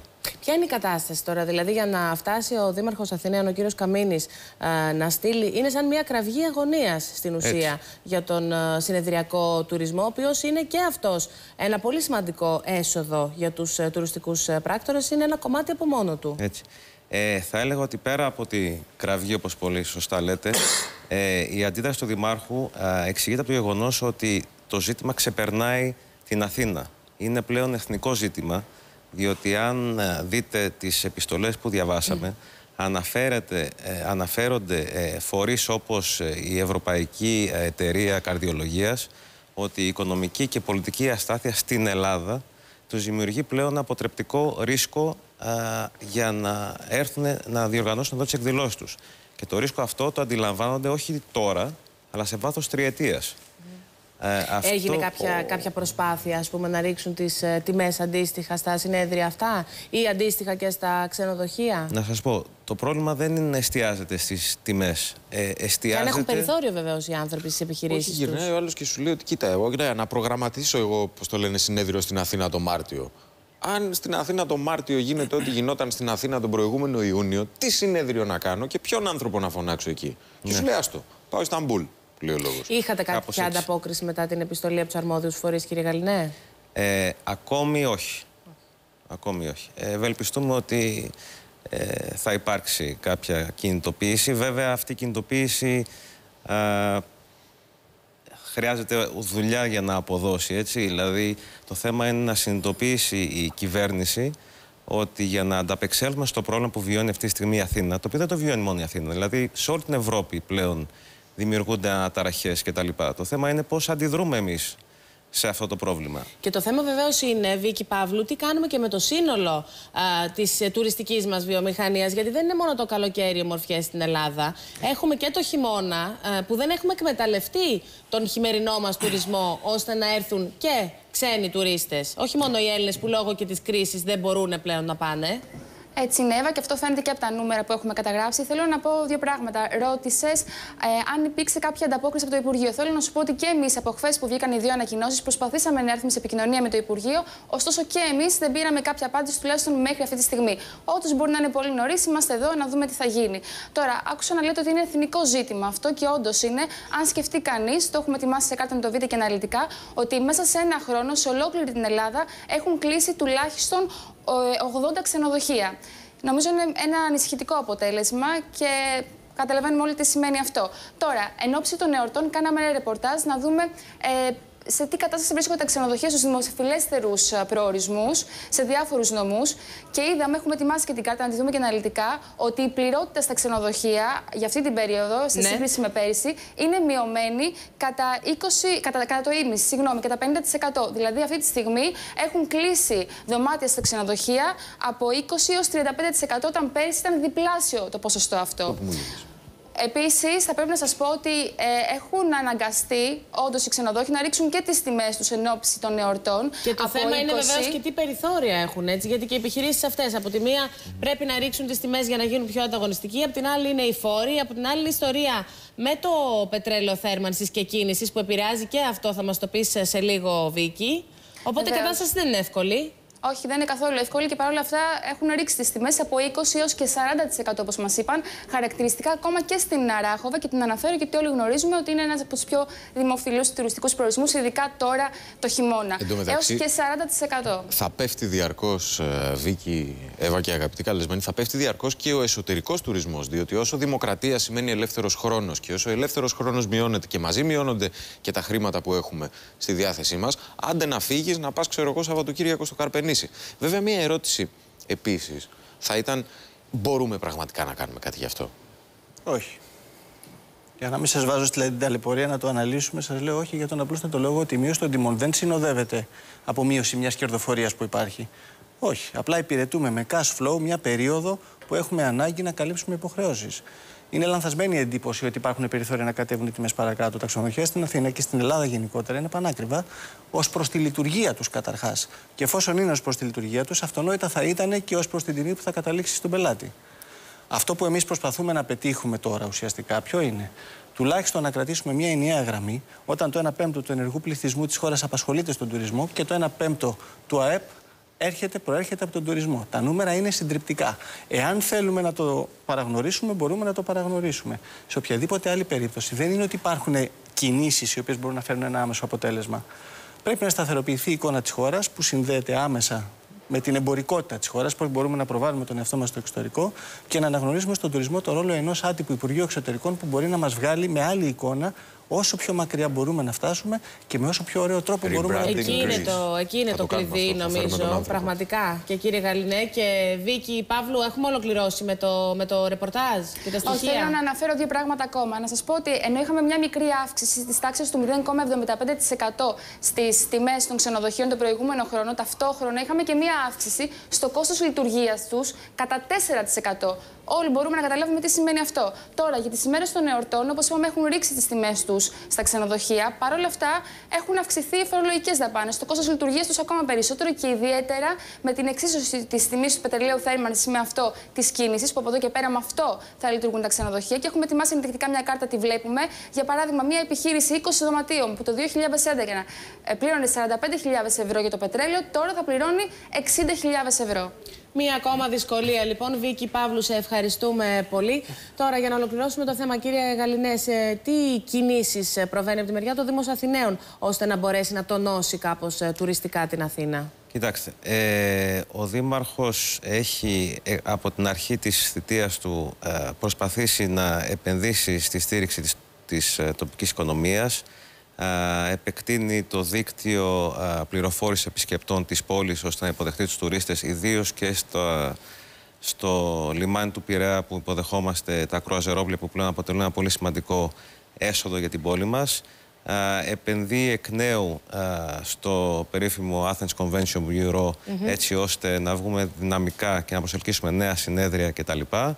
Ε, και σχεδιάζει και μια σειρά από δράσεις. Ε, ενδεικτικά αναφέρω ένα πρόγραμμα που ονομάζουμε Travel Trade που αφορά ένα πρόγραμμα B2B λεγόμενο για την α, συζήτηση και προσέλκυση με ξένους tour operators. Travel Trade λοιπόν το κρατάμε, το σημειώνουμε έτσι ως ομάδα, ως εκπομπή και σε επόμενη ευκαιρία θα έχουμε την ε, δυνατότητα να τα ξαναπούμε. Λοιπόν, Βεβαίως. σας ευχαριστούμε πολύ κύριε Γαλινέ, σας ευχαριστούμε και εσάς κύριε Αγγελόπουλε και εμείς στο σημείο αυτό έχουμε ένα διαφορετικό προορισμό για εσάς. Στη Νέα Υόρκη θα την πούμε μετά, τώρα θα μείνουμε εντός Ελλάδος. Μία προσφορά λοιπόν, παίρνετε το κινητογράφετε live και αποστολή στο 19% και έτσι θα έχετε την δυνατότητα να πάτε στην ε, Καρδίτσα, στο Μουζάκι Παλάς, 4 αστέρων, ξενοδοχείο, στην προνομιακή τιμή λοιπόν των α, 78 ευρώ και θα πάτε για τρεις ε, διανυκτερεύσεις για τέσσερις ημέρες, live και αποστολή στο 19%. Αυτά λοιπόν α, όσον αφορά το ταξίδι μας αυτό. Περιμένουμε στο Twitter και στο Facebook σε λίγο. Θα σας ε, διαβάσουμε τα μηνύματα. Περιμένουμε τις απόψεις σας. Πώς μπορεί να γίνει αυτό το rebranding που είπε ο Κωνσταντίνος, δηλαδή να ξαναπροωθήσουμε την Ελλάδα μας προς τα έξω και για το χειμώνα. Να βγούμε όμως εκτός Ελλάδος τώρα και να πάμε στην Ιουλία Βέλη Σαράτου. Ιουλία, θα ξεκινήσουμε από την Γαλλία; Από την Πορτογαλία. Σήμερα είχαμε 24 ώρια απεργία. Α, Παρέλυσε ο δημόσιος τομέας, καθώς και όλες οι υπηρεσίες δεν ε, λειτουργήσαν, αντιδρώντας τα μέτρα λιτότητας που εξήγηλε η κυβέρνηση. Ορισμένα από τα νέα μέτρα είναι η μείωση του ελλείμματος που βρέθηκε εκτός τροχιάς στο 5,9%. Και έτσι, ορισμένα από τα μέτρα αυτά είναι η επιπλέον μισή ώρα εργασίας την ημέρα, χωρίς την καταβολή υπεριοριών. Ενώ η κυβέρνηση συζητά ακόμα και με τα συνδικάτα και την κατάργηση τεσσάρων από τις 14 δημόσιες αργίες. Να πούμε τώρα στην Αίγυπτο. Όπου, Δύσκολα συγγνώμη, πολύ τα πράγματα και στην Πορτογαλία και στην Ιταλία και στη Γαλλία. Η Κωνσταντίνε; Fitch. Στα Όλοι σκουπίδια θέλουν η πλέον Fitch μέτρα. την πέταξε στην Πορτογαλία. Δηλαδή Ναι, το junk ακριβώς. που λέγαμε Φαίνεται διάλεξε τη μέρα, τη μέρα της γενικής απεργίας, να υποβαθμίσει είναι η αλήτες Fitch στην όμως. Πορτογαλία. Συγγνώμη που θα το θέσω έτσι. Είναι αλήτες. Δεν το κάνουν τυχαία. Δεν ξέρω αν το κάνουν τυχαία ή όχι. Πάντως είναι γεγονός ότι η Πορτογαλία ήταν το καλό υπο- υπετίθεται του Δουνουτού. Αλλά παρόλα αυτά έχει και αυτή τα προβλήματά της. Λοιπόν, και στην Αίγυπτο η ένταση συνεχίζεται, έτσι, Ιουλία; Η ένταση συνεχίζεται, αν και ζήτησε συγγνώμη ο Αιγυπτιακός στρατός για τις βαναυσότητες που έχει κάνει τις τελευταίες τέσσερις ημέρες. Βαναυσότητες όμως οι οποίες είναι πραγματικά πέραν του δέοντος ε, τρομακτικές, αν αναλογιστεί κανείς ότι χρησιμοποιήθηκαν νευροπαραλυτικά αέρια μαζί με σφαίρες, σκάγια κυνηγητικών ε, συ- φυσικιών, ενώ έγινε και εκτεταμένη χρήση γκλόμπ. Την ίδια στιγμή ο στρατός εγγυάται βέβαια τις εκλογές που θα γίνουν όπως είπε κανονικά τη Δευτέρα 28 Νοεμβρίου, χωρίς όμως. Ιουλία, πάρε λίγο τα μαλλιά σου έτσι. Μπράβο, γιατί πέφτουν πάνω στο μικρόφωνο. Ωραία, συνέχισε. Χωρίς να, έχουν, να έχουν προηγηθεί, κα- χωρίς να έχει προηγηθεί βέβαια καμία προεκλογική εκστρατεία, όταν όλοι είναι συγκεντρωμένοι στην πλατεία Ταχρήρ και δεν φεύγουν και φυσικά γίνονται όλα αυτά τα έκτροπα μεταξύ αστυνομικών α, δυνάμεων και διαδηλωτών. Να πάμε τώρα σε ένα θέμα διότι, που αφορά πάλι τον Μπερλουσκόνη, ο οποίος όπως φαίνεται πάντα πρωταγωνιστή, παρά το γεγονός ότι δεν είναι ε, πρωταγωνιστής στην Πάει πολιτική για, σκηνή. για τραγουδιστή, συνεχίζει με το CD του. Πέρα από το ότι πάει για τραγουδιστής. Πάει για ταινία τώρα. Βλέπω εδώ, όχι. Έχουμε τη δίκη του ε, διαβόητου Ρούμπι Γκέιτς. Ναι. Λοιπόν, Όπου μάρτυρες στο, πάνε. σκάνδαλο αυτό, στο σκάνδαλο αυτό λοιπόν Μπούγκα, εκλήθησαν, μπούγκα. έχουν κληθεί Στο 214 γέλιο. μάρτυρες. Θέλετε να σας πω δύο πολύ γνωστούς; Ναι. Είναι ο George Clooney και ο Κριστιανό Ρονάλντο. Ο George Clooney έχει παραδεχτεί ότι... Συγγνώμη, την έχει- έχουν φω- τη φωλιά τους και αυτιλερωμένη. Πρόσεξε, ο George Clooney έχει παραδεχτεί ότι έχει επισκεφτεί τη βίλα Άρκορε Α. ε, όταν ε, γίνονταν σαν τα περίφημα μπούγκα μπούγκα πάρτι.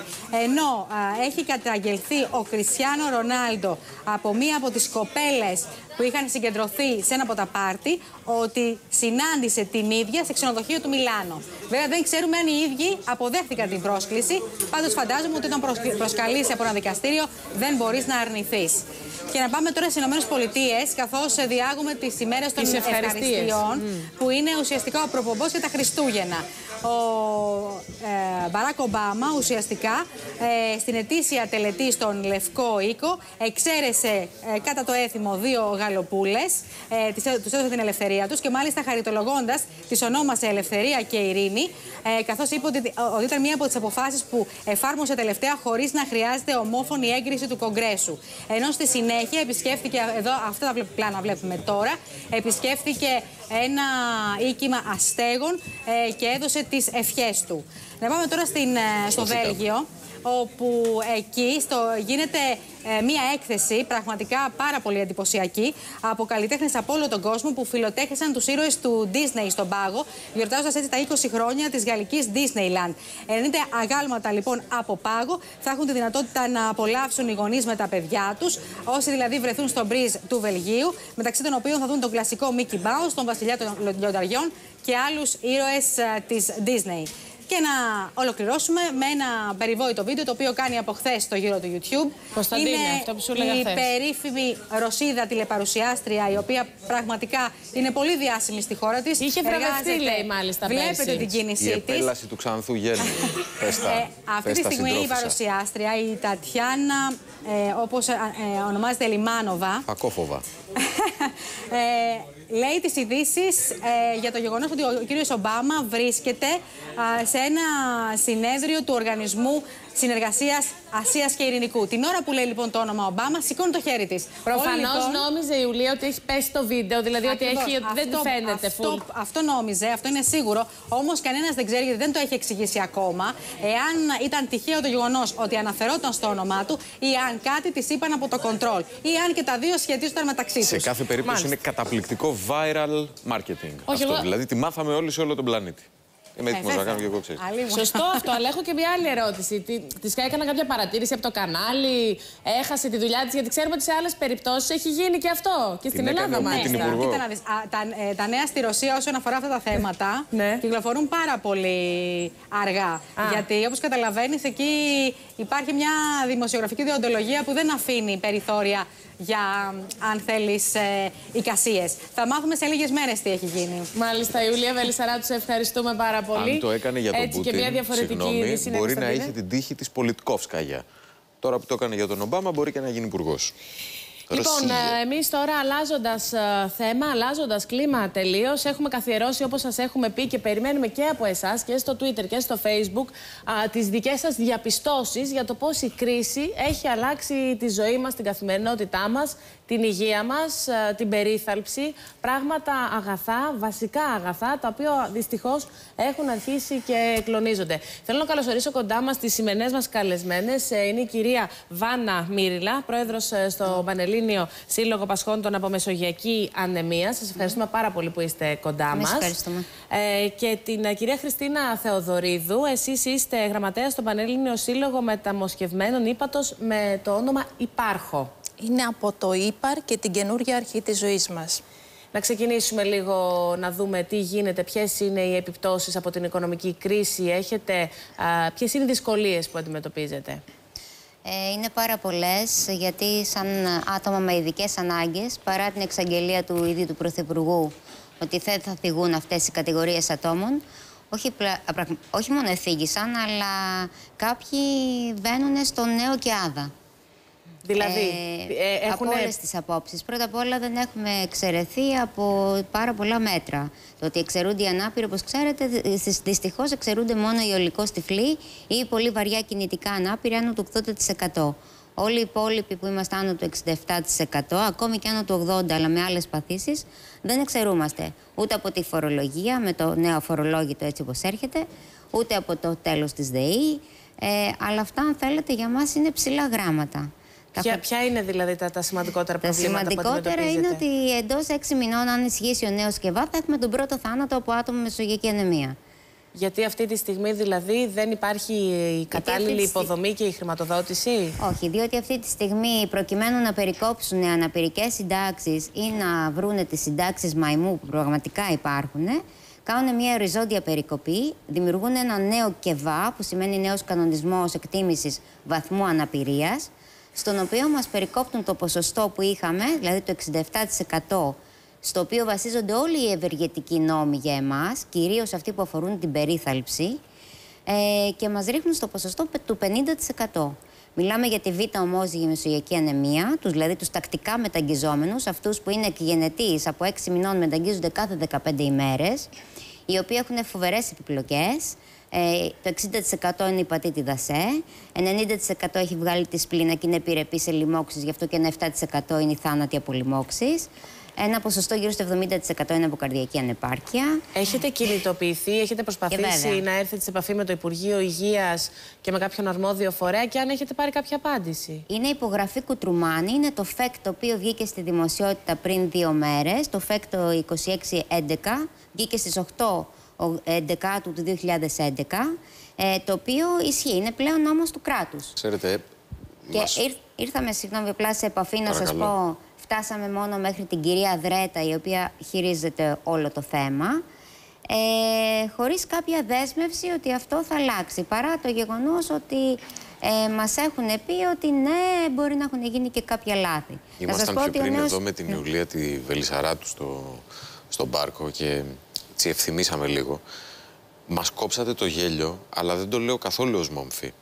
Το λέω ως διαπίστωση του πόσο άθλια είναι τα πράγματα. Πώς μας συμβαίνουν. Και υποθέτω ότι το ίδιο θα συμβαίνει και με τους ανθρώπους οι οποίοι κράτος. έχουν κάνει μεταμόσχευση ύπατο. Εμείς είμαστε ακόμα χειρότερα. Ενώ πριν ένα χρόνο, με τον 3846 του 2010, το Υπουργείο έδινε 80% αναπηρία σε όλα τα συμπαγή όργανα και όταν λέμε συμπαγή όργανα μιλάμε για νεφρό, πάγκρεας, καρδιά, ύπαρ. Και ενώ το Κεντρικό Συμβούλιο Υγείας έκρινε σκόπιμο ότι η μεταμόσχευση ύπατος είναι άκρος ιατρικά δύσκολη πράξη με αποτέλεσμα να προτείνει σαν γνωμοδοτικό όργανο αναπηρία άνω του 80 ο καινούριο ΚΕΒΑ, ο κανονισμός αναθεώρησης βαθμού αναπηρίας, μας κατεβάζει στο 10%. Και μαζί με τα Δεν ξερά, ακούσατε λάθος. 10%. Τα χλωρά. Αυτό τι σημαίνει; Ότι είναι άνισο, αντιεπιστημονικό, αντισυνταγματικό. Τα άλλα όργανα παίρνουν 67 με 80% αναπηρία. Όλα τα όργανα της μεταμόσχευσης των συμπαγών οργάνων, μάλλον όλοι οι μεταμοσχευμένοι παίρνουν ανασοκαταστολή. Τι σημαίνει αυτό; Ότι είμαστε επιρρεπείς σε λοιμώξεις, τις οποίες βέβαια είναι αμεληταίες, ότι η πρώτη παρενέργεια είναι η νεφροτοξικότητα Ήδη έχουμε άτομα που είναι σε τεχνητό νεφρό και έχουν κάνει και μεταμόσχευση νεφρού μετά από 10 χρόνια μεταμόσχευσης ύπατος. Όσο δύσκολα και αν είμαστε, αυτό δεν μπορεί. Όσο δύσκολα και αν είμαστε, νομίζω ότι συμφωνείς απόλυτα, Εύα, αυτό δεν μπορεί να επιτραπεί. Απόλυτα. Δηλαδή και μιλάμε για εκατοντάδες εκατομμυρίων. Δεν μιλάμε ούτε καν για δισεκατομμύρια. Όχι, δεν μιλάμε για εκατοντάδες εκατομμυρίων. Η μεταμοσχευμένη ύπατος είναι 350. Όχι, εννοώ τα χρήματα που χρειάζονται. Μιλάμε για κάποια εκατομμύρια. Μιλάμε, δεν μιλάμε δηλαδή καν για, για Μιλάμε για 350 ανθρώπους τουλάχιστον για τους μεταμοσχευμένους ύπατος, από τα οποία 35 μικρά παιδιά που οι μητέρες τους δώσαν μέρος του σηκωτιού τους για να είναι αυτή τη στιγμή εν ζωή. Το ύπαρ είναι το μοναδικό όργανο που δεν έχει μηχανική υποστήριξη. Δηλαδή, οδηγούμαστε στο θάνατο. Αυτή τη στιγμή μας κόβουν την ανάσα, μας κόβουν την αναπνοή, Ελπίζω να μας μας κόβουν ακούν. την ύπαρξη. Ελπίζω μας. να μας ακούνε αυτή τη στιγμή και να Το ξέρουν ότι λιγότερο το που μπορούμε να κάνουμε, κυρία Θεοδωρίδου, εμείς να σας πούμε είναι ότι θα είμαστε δίπλα σας. Σας ευχαριστούμε ότι... πάρα πολύ. Και εσάς, βεβαίως, κυρία Μα δεν Μίριλα. έγινε οικονομοτεχνική μελέτη για να δουν αν κερδίζουν κάτι από αυτό. Ούτε πήρανε επιστημονική τεκμηρίωση. Ε, Το Κεντρικό Συμβούλιο Υγείας έχει στείλει έγγραφο το οποίο είναι αντίθετο προς αυτό.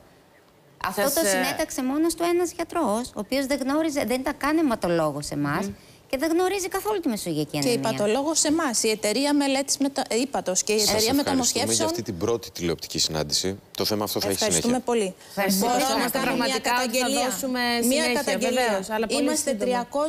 350 άνθρωποι. Υπάρχουν 700 μαϊμούδε ανάπηρες στη Ζάκυνθο τυφλοί. Υπάρχουν 30.000 στη- στα Χανιά. Δεν πειράζουν Επιτέλους, αυτούς σα και μπορέσει πειράζουν κάποιος εμάς. να βρει ποια είναι Ακριβώς. τα, ποιες είναι οι μαϊμούδες και ποιοι είναι οι πρα- οι συντάξεις και ποιες είναι οι Δεν μαϊμούδες είμαστε επιδοτήσεις. διατεθειμένοι. Και ποιοι είναι αυτοί οι άνθρωποι που πραγματικά έχουν ανάγκη και όπως λέτε, κινδυνεύουν να οδηγηθούν Έτσι σε κι αλλιώς θάνατο. Σας εμάς- υποσχόμαστε πραγματικά ότι θα δώσουμε συνέχεια στο θέμα και πραγματικά προσδόκιμο είναι μακάρι τα να βλέπουν 50 τώρα έτη. την εκπομπή μας και κάποιος να ανταποκριθεί στο κάλεσμά σα. Μακάρι. Σας ευχαριστούμε Δεν πολύ. είμαστε διατεθειμένοι να καταθέσουμε στη δίθεν οικονομική σωτηρία της χώρας τα μοσχεύματά μας. Σας ευχαριστούμε. Εμείς κυρία ευχαριστούμε. Σαφαρίου και κυρία Μύριλα. Έχετε απόλυτο δίκιο. Λοιπόν, εμείς βλέποντας και τους δύο διαγωνισμούς που τρέχουν, από τη μία μπορείτε να πάτε στο, α, στην Αμερική και να παρακολουθήσετε την καινούργια ταινία του Steven Spielberg. Αποκλειστικά από εμάς για εσάς. μόνο α, όλα τα έξοδα πληρωμένα. 4 και 5 Δεκεμβρίου θα δείτε τη νέα ταινία, μια ταινία της Feel Good α, Entertainment. Ε, Γράφετε ταινία, αφήνετε ένα κενό ονοματεπώνυμο στο 19100. Θα δείτε πρώτη ταινία στις 19 Ιανουαρίου θα έρθει στην Ελλάδα η συγκεκριμένη ταινία και ταυτόχρονα τρέχει και ο διαγωνισμός μας για το Μουζάκι Hotel, το οποίο βρίσκεται στην Καστοριά. Αυτό πώς το κερδίζετε ως εξής live και αποστολή στο 19100 είναι προσφορά. Α, Βλέπετε την α, κάρτα με 78 ευρώ την ημέρα λοιπόν. Πρόκειται για μια προσφορά σε μια ευνοϊκότερη α, τιμή, μια τιμή έκπτωση μπορούμε να την χαρακτηρίσουμε. Live και αποστολή στο 19100. Αμέσως μετά τις διαφημίσεις θα έρθουμε με όλα τα θέματά μας, αλλά και με το τρέιλερ της ταινίας που ο πρώτος τυχερός θα δει α, από εδώ, από την εκπομπή από το live στην ε, Αμερική και θα έρθει και εμάς να μας πει πώς του φάνηκε η όλη εμπειρία. Σε δύο-τρία λεπτάκια και πάλι κοντά σας. Επιστροφή λοιπόν στο στούντιο και στη σκληρή πραγματικότητα, Κωνσταντίνε, γιατί Είπα πριν το 100 θέμα εκατομμύρια, που παρακαλώ. συζητούσαμε πριν πραγματικά θα δώσουμε συνέχεια. Ναι, είπα πριν 100 εκατομμύρια για τους ανθρώπους οι οποίοι έχουν αναπηρίες, για τους ε, έχοντες κάνει μεταμόσχευση ύπατος, για να μην πεθάνουν αυτοί οι άνθρωποι, να το πούμε ομά, είναι 1,5 εκατομμύριο. Λοιπόν, τις πατάλες μου πια δεν είναι κατάσταση αυτή. Πρέπει να δώσουμε συνέχεια σε αυτό το θέμα. Και θα το κάνουμε. Λοιπόν, ε, θα δώσουμε και συνέχεια όμως στο διαγωνισμό μας λοιπόν τώρα, γιατί είναι και αυτός μια ανάσα. Είναι η προσφορά μας. Θα ξεκινήσουμε από αυτήν. Ε, θα δείτε όλα τα στοιχεία στην κάρτα για να πάτε στο μουζάκι. Είναι τεσσάρων αστέρων ε, στην Καρδίτσα, live και αποστολή στο 19100. Και έτσι λοιπόν θα μπορέσετε να πάτε ένα τετραήμερο, τρεις διανυκτερεύσεις στην ουσία, να περάσετε ωραία, να έρθετε σε λίγο σε επαφή με τη φύση. Χρειάζεται και αυτό σε μια καλύτερη τιμή, σε μια τιμή προσφοράς. Οπότε, εάν θέλετε και το επιθυμείτε, παίρνετε το κινητό σας, στέλνετε live και αποστολή στο 19100.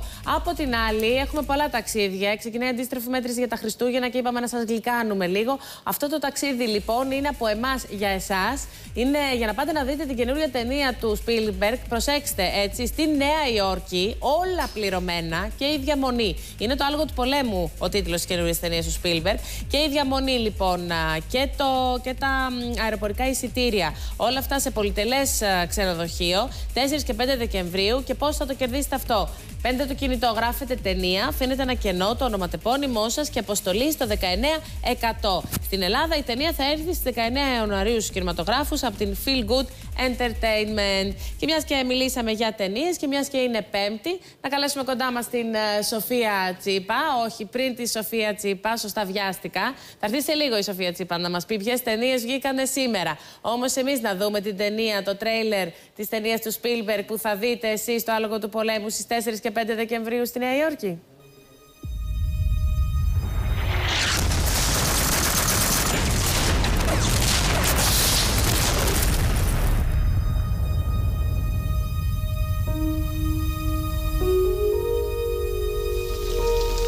What is it? It's a horse they found wandering about in no man's land. What kind of an horse? A miraculous kind of an horse, be my guess.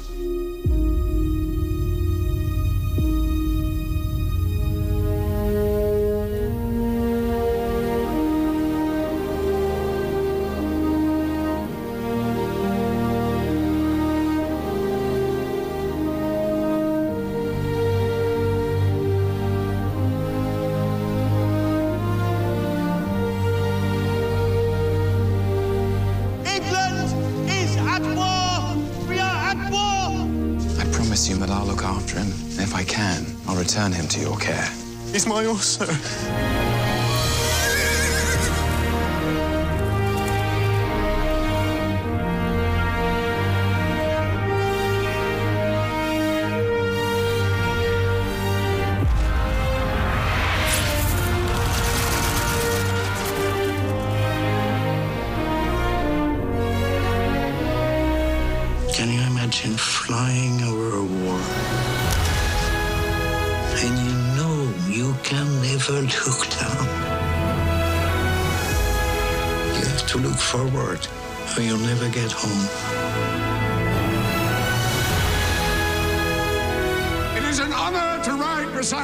Αυτή την ταινία λοιπόν ε, θα δείτε, θα παρακολουθήσετε εσείς ε, δύο τυχεροί στην ουσία, έτσι 4 και 5 Δεκεμβρίου, με τα έξοδα όλα πληρωμένα από εμάς, αρκεί να πάρετε αυτή τη στιγμή το κινητό σας, να γράψετε α, ταινία, κενό, ονοματεπώνυμο και αποστολή στο 19%. Θα πάτε στη Νέα Υόρκη με όλα τα έξοδα πληρωμένα από εμάς, θα δείτε αυτή την ταινία. Η ταινία αυτή θα βγει στις 19 Ιανουαρίου στους κινηματογράφους από την Feel Good Entertainment Α, και όλα αυτά ε, ένα δώρο, έτσι το λιγότερο που μπορούμε να κάνουμε, αλλά νομίζω ότι είναι ένα εξαιρετικό δώρο. Δυστυχώς, ο Κωνσταντίνος και εγώ και όλοι εμείς δεν μπορούμε να πάρουμε μέρος. Οπότε ξεκινάτε εσείς τώρα και ταυτόχρονα εμείς καλωσορίζουμε τη Σοφία Τσίπα για να δούμε ποιες ταινίες μπορούμε να δούμε σήμερα στο σινεμά. Αυτή είναι η μαγεία του κινηματογράφου, Εύα. Μπαίνεις μέσα στην αίθουσα και τα ξεχνάς όλα. Ξεκινάει το παραμύθι. Έτσι. Πάμε να δούμε λοιπόν σήμερα τι βγαίνει στις αίθουσες. Ξεκινάμε με την ταινία Μια επικίνδυνη μέθοδος του David Cronenberg ε, με τον Viggo Mortensen και την Keira Knightley και τον ανερχόμενο Michael Fassbender ε, και πολλούς άλλους αγαπημένους ηθοποιούς. Μια ταινία που κέρδισε τις εντυπώσεις στο Φεστιβάλ Βενετίας και θεωρείται φαβορή για τα Όσκαρ. Ένα τρίγωνο μεταξύ του πατέρα της ψυχανάλυσης, του Φρόιντ, ε, του μαθητή του Καρλ Γιουνγκ και μιας ασθενούς. Μια ιστορία για τρεις ανθρώπους που έφεραν τα πάνω κάτω στην επιστήμη της ψυχιατρικής ε, του 20ου αιώνα. Ε, οικαστική κομψότητα, λυρισμός και φοβερές ερμηνείες. Μια ταινία που συγκεντρώνει πολλά αστεράκια και όλοι κάνουν λόγο για την ανεπανάληπτη ερμηνεία του Μάικλ Φασμπέντερ. Ε, και συνεχίζουμε. Και συνεχίζουμε με την ταινία Τυρανόσαυρος του Πάντι Κόνστιν. Ε, Εδώ έχουμε την ιστορία ενός βίαιου, οξύθυμου, αλκοολικού χείρου άντρα, η συνάντηση του οποίου με μια γυναίκα και η θαλπορή που εισπράττει από εκείνη του αλλάζει τη ζωή. Οι γυναίκες λοιπόν αλλάζουν τη ζωή. Βρετανικός ρεαλισμός, μια ιστορία για τη συντροφικότητα, δοσμένη με ευαισθησία. Μια άλλη επιλογή είναι και η ταινία Οι Πυρέτριες του Τεν Τέιλορ, μελόδραμα με καλές ερμηνείες. Έχει να κάνει με τις σχέσεις μαύρων υπηρετριών και, λευκών, κι- και των λευκών κυρίων τους στον Αμερικανικό Νότο την περίοδο του 1960. Ένα τυπικό δείγμα καλού Hollywood θα μπορούσαμε να πούμε. Και κλείνω με την ταινία Happy Feet 2 για τους μικρούς και τους μεγάλους μας φίλους. Καρτούν με ξεσηκωτικά ε, νούμερα, οικολογικά μηνύματα και μηνύματα αδελφότητας των λαών. Σοφία Τσίπα, σε ευχαριστούμε πολύ για τη βόλτα στους κινηματογράφους και για τις πολλές επιλογές. Δεν πρόλαβα να τη ρωτήσω που μας στέλνει σήμερα. Εντάξει, αύριο λοιπόν την πρόταση της Σοφίας Τσίπα. Εμείς τώρα σήμερα δεν είναι κοντά μας η Μελίνα η Τσέλιου, αλλά θα δείτε ένα ρεπορτάζ που έκανε. Ταξίδεψε στο Λονδίνο και συγκεκριμένα πήγε στο Πανεπιστήμιο του Cambridge και έκανε μία α, συνέντευξη για να δείτε τι γίνεται. Έχουν γεννηθεί ελπίδες για λιγότερο πόνο μέσα από μία νέα έρευνα Άγγλων ερευνητών. Για πάμε να δούμε. Επανάσταση στην αντιμετώπιση του πόνου υπόσχονται οι ερευνητές του Ερευνητικού Κέντρου Νευσέντη στο Cambridge της Αγγλίας. Δουλεύοντας τα τελευταία χρόνια, ανακάλυψαν νέα φάρμακα τα οποία δοκιμάζουν για τον έλεγχο του πόνου εν τη γενέση του. Στην ουσία, οι Άγγλοι επιστήμονες δεν επιτρέπουν ποτέ στο μήνυμα του πόνου να φτάσει στον εγκέφαλο. Υπάρχουν συγκεκριμένα ιοντικά κανάλια τα οποία είναι υπεύθυνα για μετάδοση του πόνου. Υπάρχουν άνθρωποι με συγκεκριμένες γενετικές διαταραχές, οι οποίοι έχουν φρικτούς πόνους ως συνέπεια γενετικών μεταλλάξεων ή είναι πλήρως ανέστητοι στον πόνο από την ίδια αιτία. Λαμβάνουμε αυτές τις πληροφορίες και ψάχνουμε να δούμε αν μπορούμε να οδηγήσουμε συγκεκριμένα μόρια τα οποία μπορούν να επιδράσουν στα ιοντικά κανάλια και να βρούμε έτσι νέες θεραπείες. Σοβαρές περιπτώσεις πόνου όπως καρκίνου, νευροπάθειες αλλά και πόνο στη μέση μέχρι σήμερα αντιμετωπίζονταν με οπιοειδή χωρίς το καλύτερο αποτέλεσμα. Μάλιστα κάποιες φορές με σοβαρές παρενέργειες. Τα οπιοειδή αντιμετώπιζαν συγκεκριμένους τύπους πόνου, αλλά οι παρενέργειες ήταν ιδιαίτερως βαριές. Άρα υπάρχει συγκεκριμένος χρόνος που μπορείς να τα πάρεις αυτά τα φάρμακα. Και από την άλλη υπάρχουν ασθενείς που πάσχουν από ασθένειες χρόνιου πόνου, όπως είναι η νευροπάθεια, η οποία δεν ανταποκρίνεται στα οπιοειδή. Έτσι ελπίζουμε ότι τα φάρμακά μας θα είναι αποτελεσματικά σε μια ευρεία κλίμακα ασθενειών. Τα αποτελέσματα των μέχρι τώρα ερευνών είναι τόσο σημαντικά που οι ερευνητές ευελπιστούν ότι πολύ σύντομα θα περάσουν στην επόμενη φάση, η οποία και θα κρίνει το μέλλον των φαρμάκων. Οι ερευνητές σε αυτό το εργαστήριο εδώ στο Cambridge είναι σχεδόν βέβαιοι ότι αν μπλοκάρουν συγκεκριμένα ιοντικά κανάλια στους αισθητικούς νευρώνες του σώματός μας, θα μπλοκάρουν στην ουσία τον πόνο από οποιαδήποτε αιτία και ασθένεια. Μέσα στα επόμενα χρόνια οι δοκιμές αναμένεται να ολοκληρωθούν και τότε ο τρόπος που αντιμετωπίζουμε τον πόνο ίσως αλλάξει ριζικά.